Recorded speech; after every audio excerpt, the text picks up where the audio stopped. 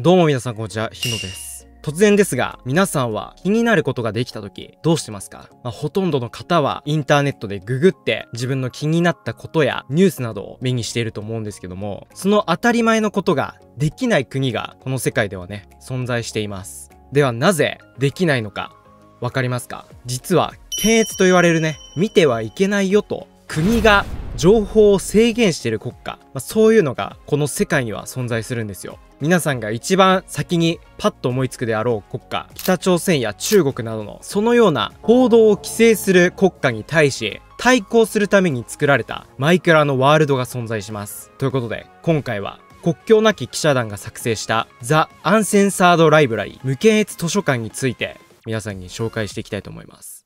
はい、こちらがザ・アンセンサード・ライブラリというマイクラのプロジェクトのホームページになってます。で、こちらね、国境なき騎士団というジャーナリスト、記者の人たちの組織が作成したワールドで、インターネットっていうのはすでに政府が操っている、そういう風な状態になってるんですよ。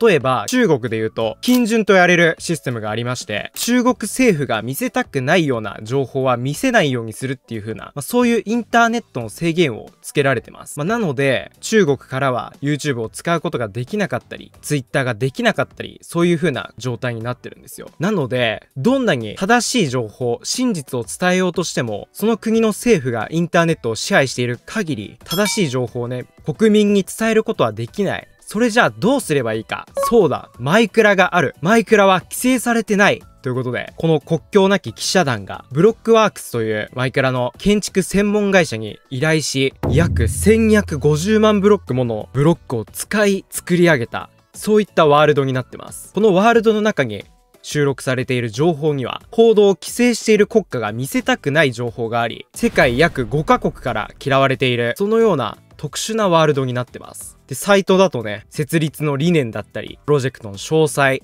そして規制されている国家の情報など、このように載っています。こちらね、各種メディアでも取り上げられている、この今の時代ならではの試み、新しい情報の伝え方をしている、すごいね、新しい試みをしまくっている、そういったワールドになってます。それじゃあね、早速こちらのワールド入っていきましょうか。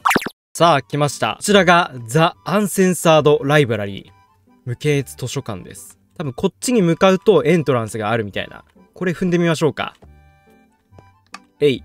お来たアンセンサードライブラリー .com。これさっき見せたホームページに繋がってると思います。で、これがロビーですよ。すごすぎる ザ・アンセンサードライブラリー。バーンと。めちゃめちゃでかい建築物になってます。これはすごいわ。なんだこれ。こっちの後ろの方もちゃんとしっかりと作り込まれてるね。でそして、なんと、こっちのね、さっき多分、ジャンプして飛ばしちゃったんですけど、こっちには、このワールドのロゴとなる、ペンを持った手、自由の報道をね、象徴しているような、そういったオブジェがあります。そしてその先に、この図書館が佇んでいる、そういったワールドの構成になってます。すごいね。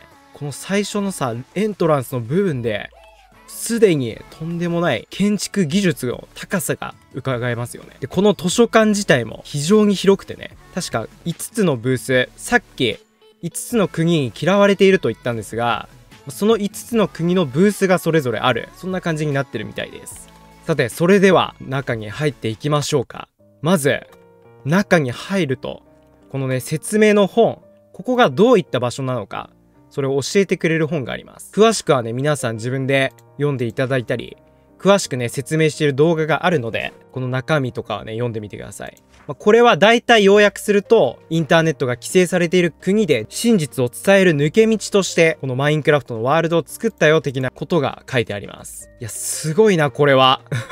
なんだこれは。おー下には世界地図が書いてあります。で、これね、何を表してるかというと、この世界地図、色がね、ついてるじゃないですか。で、この色ごとに報道の自由が分かっていて、例えば北朝鮮や中国などは、この色がね、真っ暗になってるんですけども、これはね、報道の自由が低い、そういった感じになってます。で、日本はオレンジ色、韓国は黄色、ロシアは赤色、飛んでアメリカは黄色みたいな感じで、多分色がね、薄ければ薄いほど報道の自由が高い国、そういった風になってます。はい、そしてこの地図の真ん中には、国境なき記者団が作成した2020年世界の報道自由ランキング、それがね、書かれてます。1位ノルウェー、2位フィンランド、3位デンマーク、みたいな感じで、こうずらーっと書いてありますね。まあ、北欧の方、ヨーロッパが結構比較的報道の自由が高いのかな。で、気になる日本はというと、こちら66位。赤色ですね。この真っ白、黄色、その下の赤色のところに日本が属してるみたい。で、今ね、国の名前があって、ジャパンを押したんですけど、ジャパンを押すと、このジャパンのね、国旗のところに TP します。で、一個一個の国旗のところに本が置いてあり、その国の実情、どういった報道のあり方があるのか、といった説明が書いてあります。これすごいのが、本当に全ての国家、これが全部ね、ずらーっと書かれているっていうことですよね。まあ、なので、この全ての国家の現状について書かれている。まずここのエントランスの部分でこれですからね。すごいわ。日本はね、検閲というものがないんですが、66位ってことを多分聞いて驚いた人いると思います。まあ、そういったね、真実をこの場所では知ることができる、そういった図書館になってます。はい。ちなみに180カ国ある中で、最下位はノースコリア、ワースト2位がトルメニスタン、みたいなね。まあ、この最下位については、だろうなって感じはすごいするんですけど、そんな風にランキングが付けられている。いや、すごいね。まずこの部分だけで何日かかるんだこれは。建築マイクラをね、一回やったことある人はね、絶対この凄さ、やばさ、わかると思います。これやばいね。さて、こっちはこの施設の館内図になってます。で、今いる場所がここで、でこっちのえロシア館、ベトナム館、メキシコ館、エジプト館、そしてサウジアラビア館、国境のない記者団という館があって、それぞれね、現状を報告するレポートが書いてある、政府が隠したがってる情報が書いてある部屋があるという風な感じですね。このワールド、2年前にはもうすでに存在してたんですが、なんか新しく、こっちにさ、新しく追加されてるわ。多分。最新情報ですね、これ。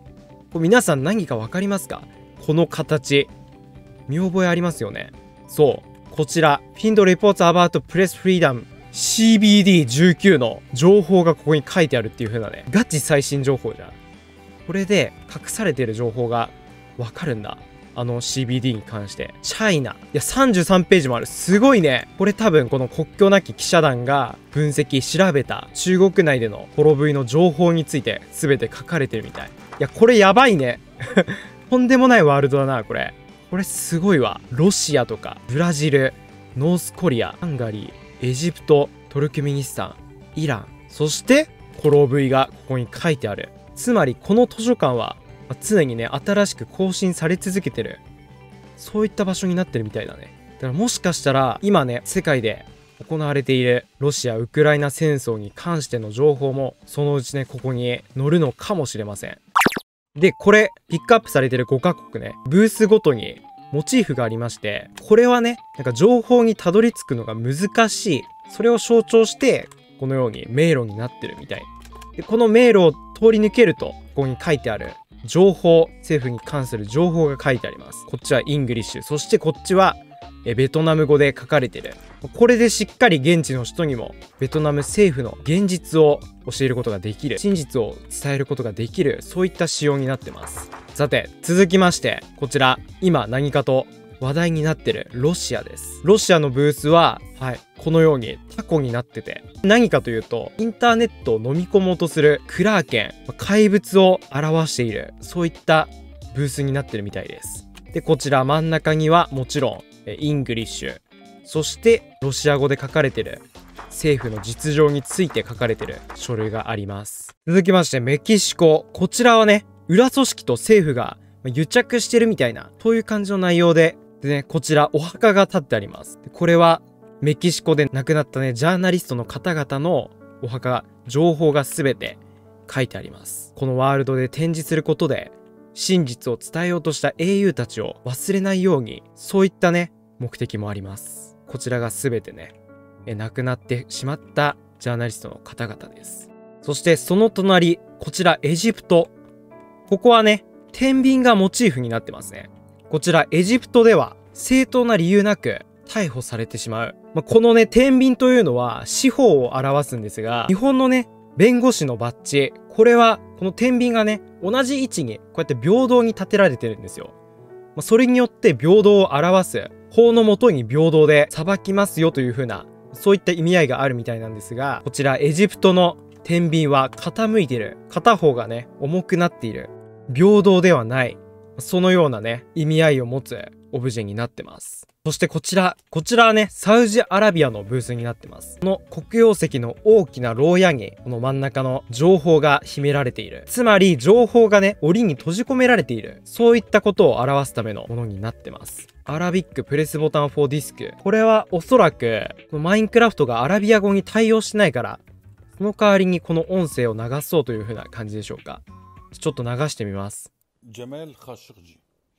أمس ما يحتاجه العالم العربي هو حرية التعبير いや、すごいよね。こちら、本の文字だけではなく、このようなね、マイクラにあるレコードっていう機能を使って、音声でも伝えることができる。書けない文字は音声で伝えるっていう風なね、何でもできるな、マイクラ。マイクラの特徴を最大限に活かしてますね。これは。すごすぎる。そして最後。 こちら。これはね、国境なし記者団の紹介ブースになってます。あこちら、ブロックがバラバラで、なんだこれみたいな感じなんですが、これ右側にある、この本のところから、この後ろのバラバラのものを見ると、トゥルスと真実っていう風にね、書かれてます。そして前の本には、国境なき記者団の紹介情報が書かれてます。まあね、こちら、このように何が何だかわからない情報、どれが真実でどれが嘘か、そうやってわからないものも、こうやってね、我々、国境なき記者団が、真実、トゥルスを教えるよ、報道するよという風な、そういったオブジェの部屋になってるね。ここもまたすごい。よく考えられてますね。で、上には、ノーフリーダム・ウィザード・プレス・フリーダム。報道の自由なしに自由はないと、そういった言葉が掲げられてます。ざっとこちらの図書館見て回ったわけなんですが、これを見てね、このワールドのデータが消されたらダメじゃん。サイトがブロックされたらダメだよねって思った方いるかもしれないんですが、これね、うまく考えられてます。このワールドはすでに何万回もダウンロード、再アップロードされ、インターネットのね、一度上げたらもう消すことができない。すぐに拡散してしまう、そういった性質を持っています。まあ、なので、このワールドがこの世界、地球上から完全に姿を消すことはない、そう言い切れます。皆さんは報道の自由についてどう思いますか？